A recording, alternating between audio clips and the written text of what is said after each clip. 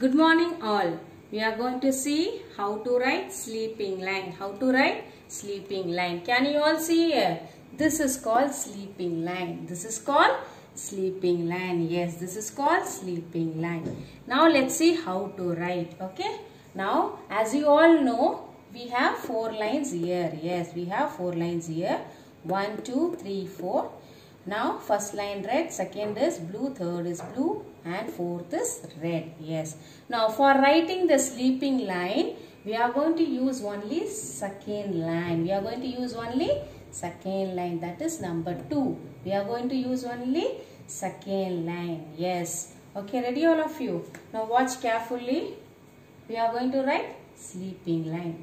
Always say and write sleeping line. What is the line? Sleeping line. What is the line? Sleeping line. Sleeping line. Sleeping line. Sleeping line.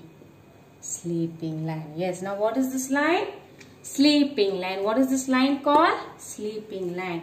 Okay. Let me show you one more example. Can you see the toy here? Yes. Can you see the toy here? Yes. Now who is he? You all know he is a Spider-Man. Who is he? Spider-Man. Now can you see the position how he is standing? Now he is standing. So this is called standing line. What is this? Standing line. Okay. When Spider-Man is lying down, what is this called? This is sleeping position. So we will say sleeping line. What is this? Sleeping line. Okay. Now come to the board. Now what is this line? The previous class we have learned. What is this line? Standing line. What is this line? Standing line. What is this line? Standing line. Yes, one straight line. Yes. Now, next, what is this line? Sleeping line. What is this line? Sleeping line. Okay. If you see standing line and sleeping line, there will be no bend. It will be straight line. It will be straight line. It will be straight line. So, this is called standing line.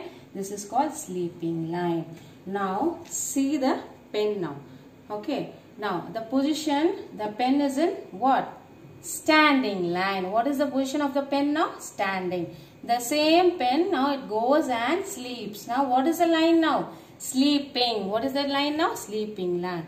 This is called standing line. This is called standing line. This is called sleeping line. Standing, sleeping. Standing, sleeping. Okay, very good. I think so you have understood.